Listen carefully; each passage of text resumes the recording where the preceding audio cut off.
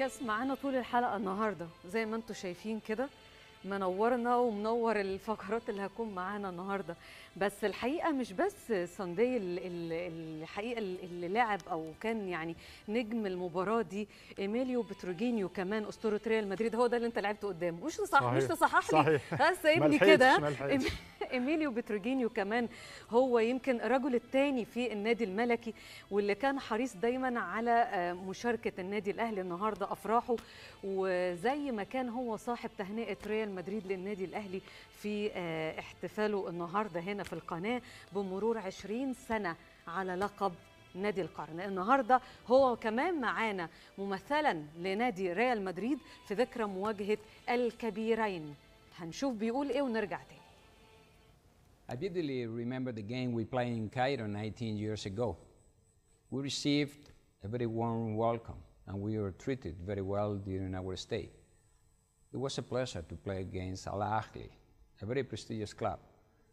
That game provided a fantastic opportunity to build a great relationship between our clubs.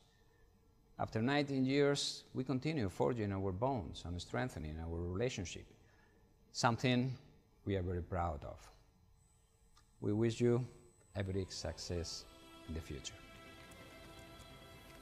طبعا شيء يدعو للفخر صحيح. بوتراجينيو من أساطير الكرة على مستوى ريال مدريد على مستوى إسبانيا آه، بيقول حتى إن هو آه، ذكرى هو مش ناسيها وجوده هنا في مصر وخاصة أمام النادي الأهلي وإن العلاقة ما انتهتش بالعكس العلاقة مستمرة مع النادي الأهلي وإن هو كان فخور إن تكون العلاقة ديت تمر على 19 سنة على آه، اشتراك نادي ريال مدريد نادي القرن الأوروبي ضد النادي الأهلي نادي القرن الأفريقي. وعلى سبيل المثال يعني بتراجينيو كمان بيفكرني أنا على المستوى الشخصي بمباراة شهيرة جدا جدا يمكن كان في أوائل احترافي في نيو شاتل زاماكس آه، كان في مباراة تجمع ما بين نيو شاتل وريال مدريد وكان بوتراجينيو بيشارك في هذه المباراة ودي كانت من المباريات تقدر تقول المباراة التاريخية لنادي نيو شاتل لغاية دلوقتي. فزنا على ريال مدريد. آه، نيو شاتل الصغير السويسري بيفوز على آه، نادي كبير عظيم زي ريال مدريد 1-0 في نيو شاتل في سويسرا.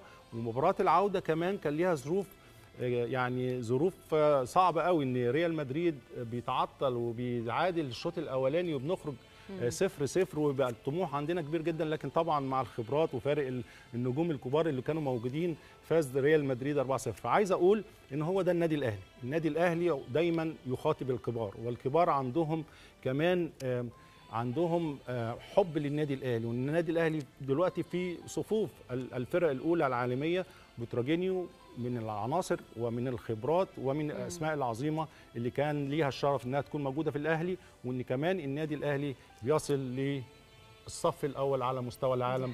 آه،. في كل الأندية